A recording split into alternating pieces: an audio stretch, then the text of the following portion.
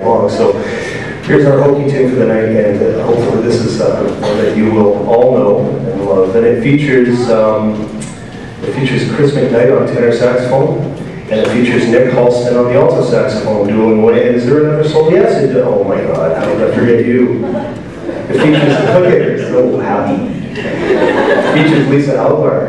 Her farewell tour, her final trumpet solo ever in these walls of the school. So make it a good one, Lisa. No problem. Here we go. I'm not telling you the name. You'll know.